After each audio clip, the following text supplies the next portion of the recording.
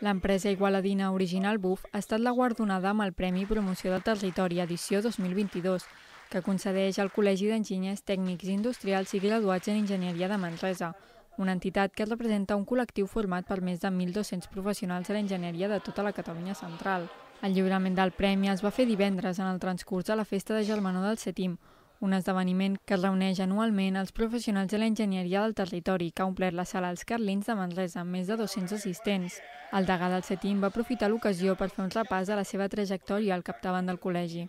Bueno, són vuit anys, són dos, dos mandats, que són el, el temps que tenim doncs, per poder doncs, eh, bueno, fer el que, la feina que puguem. No? I en aquest cas jo, jo estic bastant content de com ha anat, tot i que ha sigut una època una mica convulsa, no? per, per, per el que ja tots sabem, però bé, els resultats són bons, hem deixat el col·legi endreçat, eh, hem fet, jo penso que hem fet bona feina, en tot cas és el col·legiat que ho ha de dir, però jo personalment estic content i, i bé, doncs eh, hem de seguir, no? i el col·legi ha de tirar endavant, el col·legi creix, és dels col·legis d'Espanya de, que més creix, tenim 1.200 col·legiats, enginyers tècnics, també tenim la sort de tenir l'escola politècnica, que és, eh, que és l'escola que és la nostra pedrera, no? que ens nodreix de, de, de tècnics i tècniques no? i enginyeres, i bé, doncs anem, anem creixent i anem fent.